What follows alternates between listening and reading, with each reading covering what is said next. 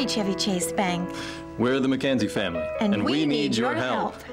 Anyway, it was an absolute nightmare, an absolute nightmare. All we were looking for was a simple home lending solution. I'd just been transferred to Quantico. Classified business. you know the drill. Well, we found the perfect little house, and it was adorable, right on Lakeshore Drive. Madge, that's need to know info Oh. only. I'm sorry. It was the picture of perfection. I was imagining Gerber daisies out in the front yard and a picket fence, oh, and a birdhouse. And I've always wanted horses. A barn. They're gonna be wonderful. Oh, okay. Anyway, we needed a mortgage and a home equity line of credit.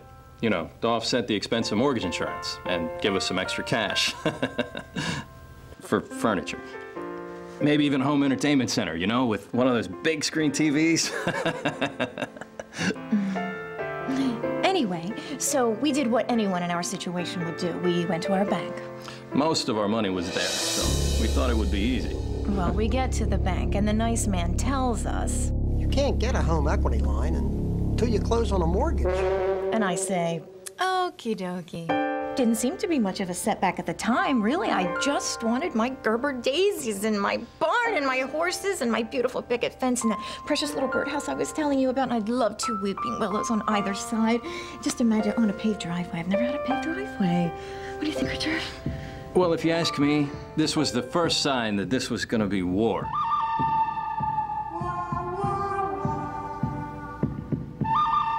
And war is not pleasant.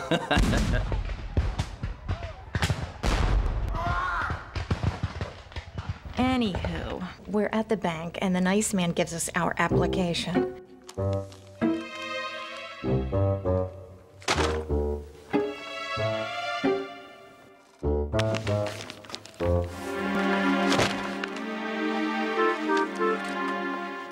The thing had hundreds of questions in it. Mm-hmm. And I couldn't figure out what some of them had to do with our mortgage. I mean, do you really need to know what my favorite ride at Disney World is to know if I qualify?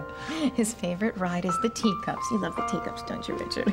I have all these Disney World pictures of you just woo, whirling around around the teacups. And that cute little Mickey Mouse frame right on the piano. It's just adorable. You should see it. Thank you, Madge. Oh. So we start filling out the application, and I'm telling you, the response boxes were so teeny tiny, I literally needed a magnifying glass just to fill the darn thing out. She went to the eye doctor last week. Her vision may never be the same. So we fill out the forms and take them back to the bank, and we thought we were finished, but we weren't finished. Not even close. I'm going to need some more documentation from you. Now I'm in the business of documents. Highly classified documents. but even in my line of work, there's less paper. So he said, Just a few more documents. They wanted copies of our yearly pay stubs, our W 2 forms, copies of our social security cards, passports, birth certificates. They even asked for Buster's most recent rabies vaccination record. I mean, come on. Buster's our dog. Toy poodle. Excellent breed in time of crisis. Then they asked for two months of our bank and brokerage accounts. I mean, I just kept saying, okie dokie, okie dokie, okie dokie, okie dokie. These guys even had us digging up 20 year old tax returns just to be sure. Just to be sure of what? I'm an employee of the United States government and a model citizen. I'd take a bullet before I'd run a red light.